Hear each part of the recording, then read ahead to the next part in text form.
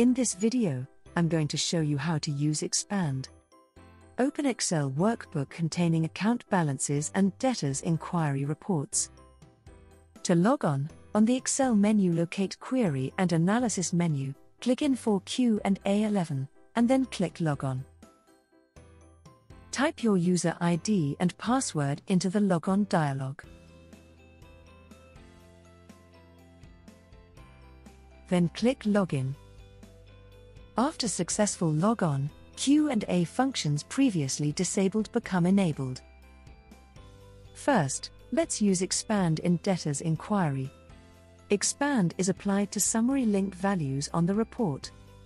You may specify filters business unit, account code, aging date run report and update latest values. Select cell or cells to expand. In this case, the summary link value from 121 days. Click Expand in the Query and Analysis ribbon. The Expand window is displayed.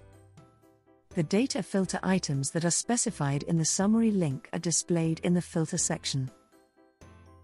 The output pane lists the items that are outputted by the summary link.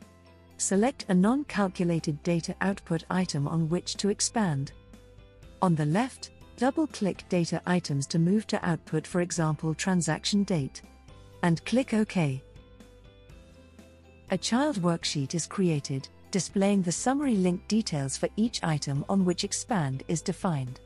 Depending on the volume of data, it may take some time to complete. Click Expand, Add Icon, to view the details, and the corresponding totals, or click Collapse, Subtract Icon, to view only the totals. You may also use Expand on results of summary report. Let's expand the account balances summary report. You may specify filters business unit, account code from, and to, period from, and to, before running the report and update the latest values. Select value or values to apply expand on, for example, product sales balance in GBP and USD. Click Expand in the Query and Analysis ribbon. On the Expand window, select non-calculated data items to expand out on. Double-click data items to move to output for example accounting period, department analysis code and department name. Then click OK. Depending on the volume of data, it may take some time to complete. A child worksheet is created, displaying the summary link details for each item on which expand is defined. Click Collapse, Subtract icon, to hide the detail expand and view only the totals. Click Expand, Add icon, to view the details.